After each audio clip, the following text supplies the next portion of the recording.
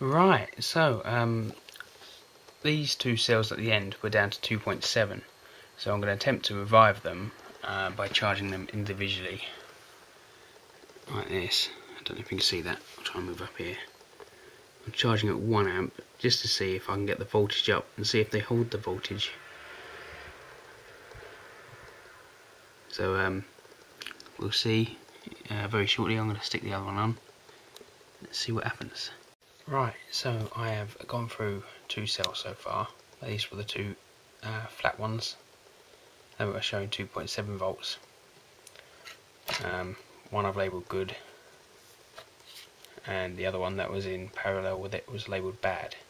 That one's only holding 3.8 volts although it's still better than nothing. The other ones are holding 4 volts. And this one is still charging at 0.2 amp. It's holding 4.2 when I unplug that I expect that to drop to 4 like that one. Just working my way through them charging them one at a time. Uh, to see how they do. And the ones that are the ones that are um, only where's, where's it gone? The ones that are 3.8 already. I'm just uh, drawing some of the power out to see how it goes so they get a fair charge. So this one's put in 740 milliamps without having any discharge. If I do this torch up. Sorry. Now you can see I use the torch I'll leave it on the side just to flatten them off a little bit and then uh, give them a charge to see if it brings up the voltage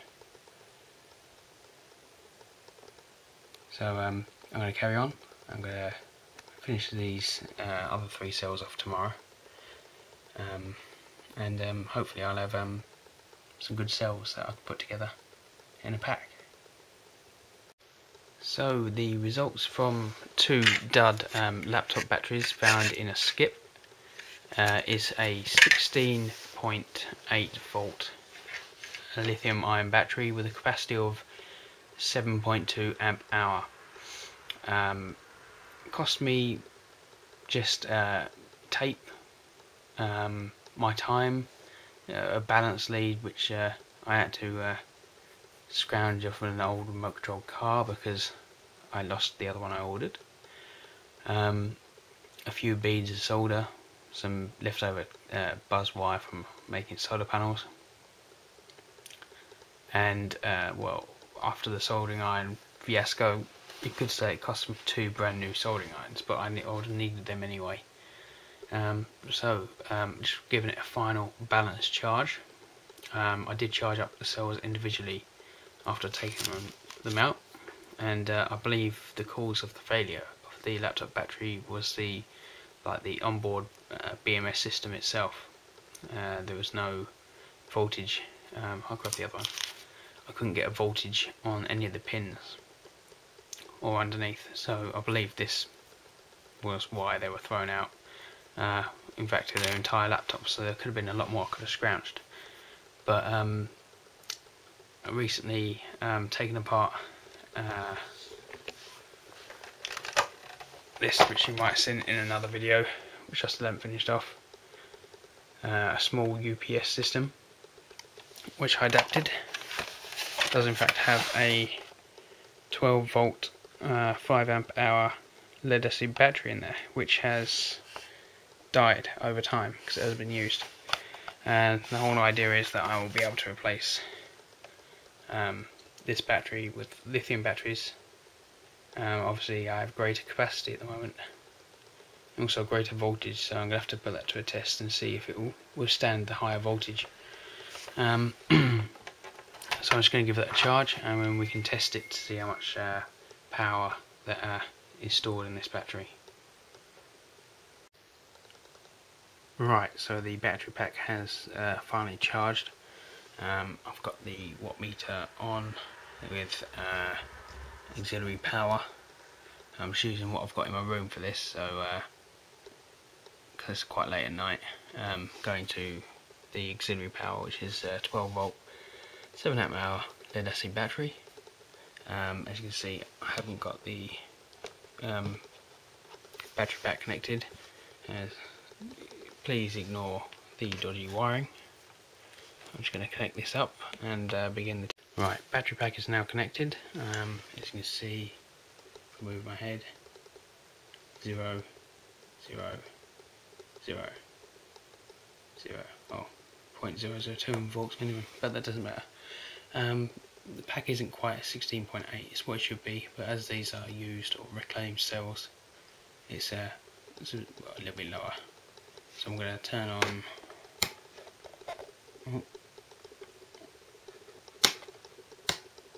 That's it. I'm just going to turn one set of lights on, drawing one amp.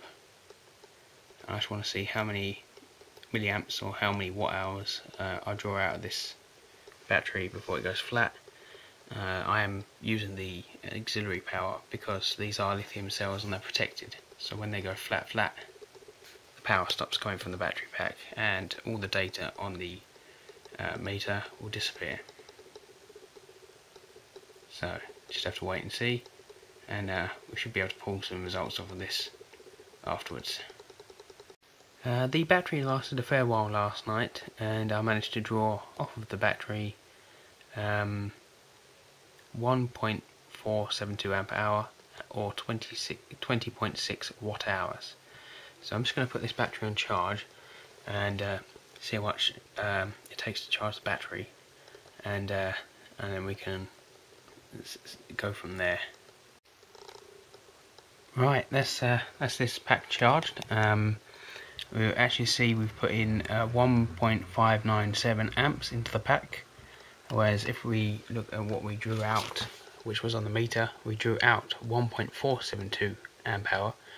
Um, so it just goes to show it only takes an extra 100 milliamps over what you've used to charge the battery there's no great deal of loss in that. So I'm going to go ahead and um, plug uh, the other battery in. This is the uh, set of eight um, Trustfire 4 amp hour 18650s. Um, we've got four in series and two in parallel.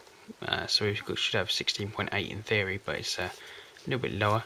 Um, and I'm going to charge this up and balance it and we're going to run the test again tonight to see uh, how much I draw out of this and how much it takes to charge it up so we can compare the, the used batteries with the, the brand new batteries and not forgetting that this is a um, 16.8 volt uh, 7.2 amp hour and this is a 16.8 8000 amp hour 8000 milliamp hour 7.2 amp hour. Yeah, sorry.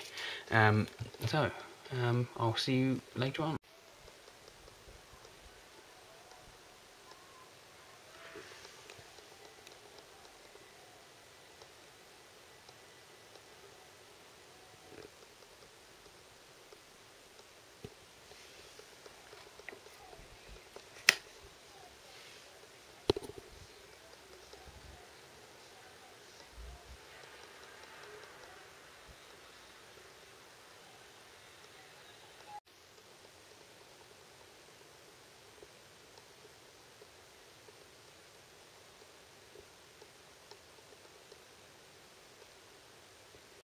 Right, now um, it's ready to charge this lithium pack that I used last night. Um, sorry there was no sound in the last part, just showing you the results. Uh, obviously we had um, 20, I think 27 watt hours um, used or 1.954 amp hour. So I'm just going to charge this up now. Um, and I've just forgotten to uh, plug in the balance lead. So I'm going to plug this in, turn it on, and uh, I'll let you know how much it's taken when obviously when it's finished charging. Hello YouTube, um, the 8 amp hour battery pack has charged and it's uh, taken 2.4 or 2462 amp hours or 2.4 ish amps um, compared to the amount that came out 1.954 so if we round up to 2 amps out to, uh, 2.5 in uh, it's actually used uh, well an extra 25% uh, on top to charge it, which isn't bad. It's more I was expecting. Um, but the, the the smaller battery pack, the 7.2 amp hour, or bigger, has only taken an extra 100 milliamps to charge. So maybe it's just one of those things I'll have to uh, redo the test at a later date, but quite happy with that. Um, I'm going to uh, leave this video here. Thank you very much for watching. Um, I'm going to test it with a 7 amp hour lead acid at the 1 amp dis discharge rate to see how much I draw off and how much I need to charge it.